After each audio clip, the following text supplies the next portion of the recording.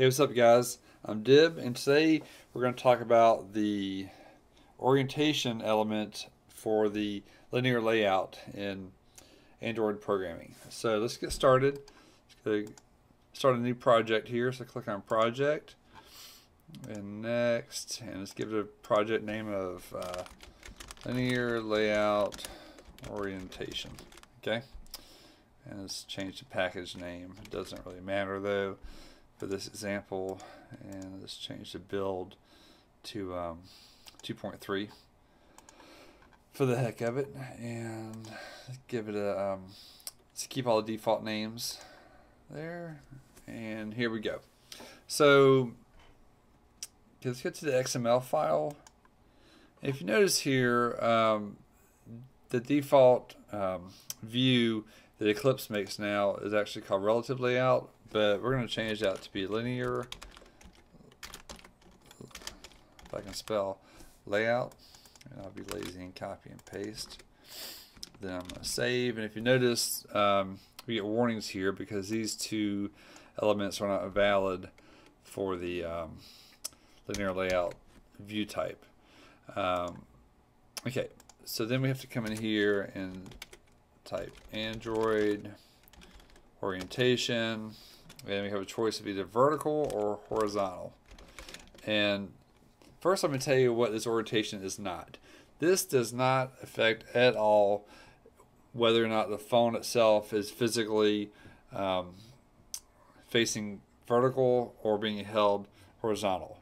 Um, you know how like, you can change or um, when you tilt your phone to the side it changes the view. This is not anything at all about that. What this does is determine how the text on the screen is laid out for whichever view that you're on. So for example, okay, let's change this text here. Just this is make up some crazy words. Let's say chicken. Um, let's let's be lazy and copy and paste it a bunch of times. I need to have that out just because I like. Okay, let's let's give it a few times here. Okay, let's say chicken, um, cat, monkey, and skunk.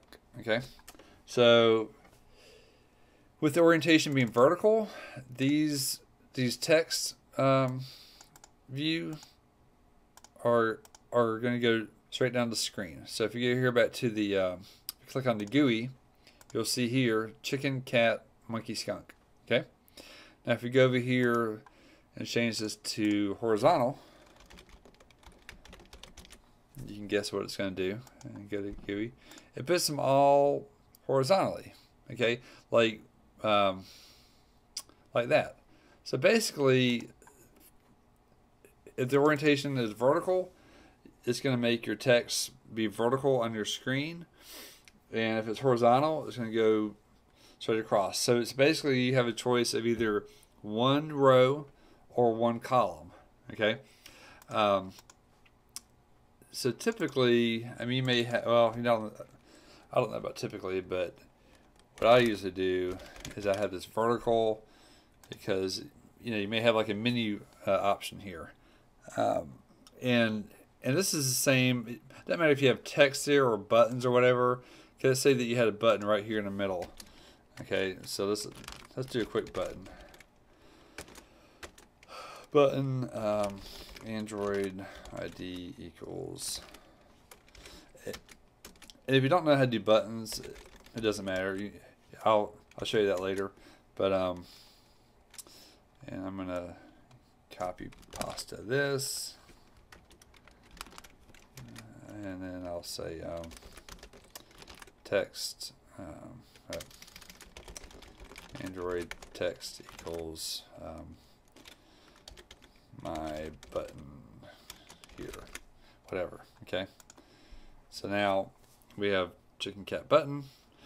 Um, now, one thing that you have to be careful of is if you um, do it horizontal and the text goes off the screen, it just wraps off the screen. Um, well, okay, we don't have any long words here, so that actually fit. But let's change cat to elephant, giant, whatever. Okay, so, something with a long word. And then notice here that skunk got all jacked up here. It didn't really wrap properly. Um, so just be careful with that. But that, in a nutshell, is the difference between the horizontal and vertical orientation for the linear layout um, view. Hope that helped and stay tuned for more.